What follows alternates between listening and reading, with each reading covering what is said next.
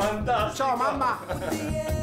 Luca Rutigliano, un artista vero, giovane, simpaticissimo, anzi io mi auguro che lo conoscerete al più presto perché con lui c'è un progetto, però non vi anticipo nulla. Lui ha avuto così la genialità di dare visibilità, ma dico visibilità a questa bella città che è Bari, attraverso un tormentone che è appunto quello di Eppi. Raccontaci. Niente, ci è venuta l'idea di far vedere Bari e i baresi in tutto il mondo perché secondo me Bari è una città da vedere ed è meravigliosa. Il progetto eh, speriamo che venga condiviso da almeno 500.000 persone. Ad oggi siamo arrivati in soli tre giorni a 300.000 utenti, il che vuol dire che se dovessimo arrivare mai a quel numero là si potrebbe aspirare anche al milione e non c'è nessuna città oltre Parigi in Europa che ha fatto bene così. Però tu ti sei illuminato perché hai fatto un viaggio, eri un giorno a passeggio dove?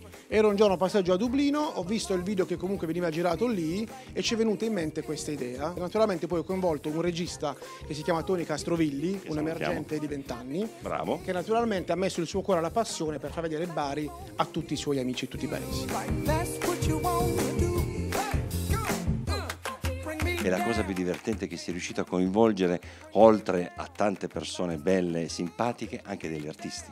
Sì, è tutto nato per caso, nel senso che sia per le persone che giravano per strada, che venivano coinvolte facilmente, è capitato che eravamo in uno studio legale, eh, lì c'era Gianni Ciardo, l'ho preso a braccetto e ho iniziato a ballare. Lo stesso è andata così per Mingo, era vicino al lungomare, un signore lo seguiva, ho detto a questo punto mettiamo la musica, vediamo che succede.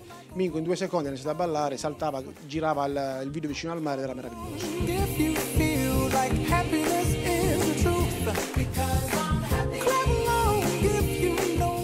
Chiediamo ai nostri amici di mettere quantomeno il mi piace e di visualizzare questo video su YouTube dove? Eh, è molto facile, andate su YouTube, scrivete Happy Bari o su Google semplicemente Bari, uscirà il video, guardatelo e condividetelo. L'obiettivo è, oltre ad arrivare a un milione, far vedere Bari più gente possibile in modo da attrarre turismo qui e far comunque fiorire un turismo migliore.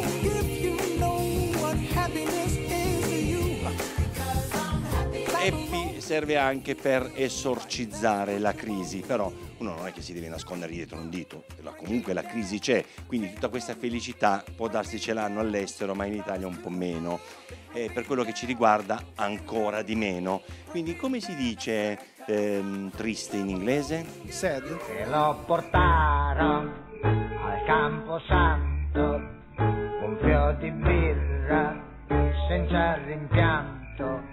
Se lo portarono seduto in trono, quattro becchini al passo lento del perdono.